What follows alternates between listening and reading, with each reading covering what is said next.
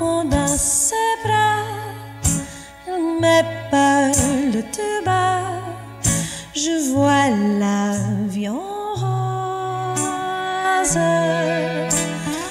Il me dit des mots d'amour, des mots dont tu les jours, et ça me fait quelque chose.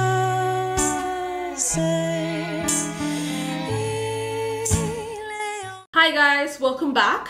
Today I'm going to be talking about a topic that has been relevant for most of us at least at some point in our lives.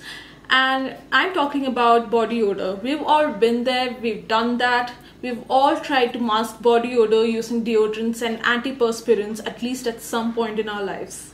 But have you ever taken a moment to wonder that maybe these deodorants and antiperspirants are maybe adding to the problem? So when we try to mask body odor using deodorants and antiperspirants, what we do is that we block the armpit pores and prevent it from breathing which means that we allow more odor producing bacteria to breed leading to usage of deodorants more frequently. What also happens is that whatever we apply on our armpits gets absorbed into the bloodstream because the armpit uh, is most susceptible to absorption.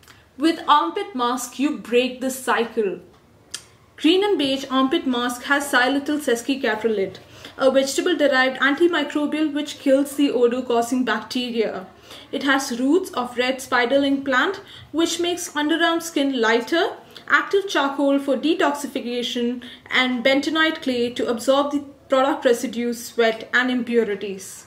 This is the safest product for the underarms in the market and it has a host of exotic ingredients. So all you have to do is apply it on your wet armpit, leave it on for 10 minutes and then rinse it off with water. You may experience a pleasant cooling sensation because of the peppermint essential oil in it. Enjoy the spa-like experience and of course a fresher feeling underarms.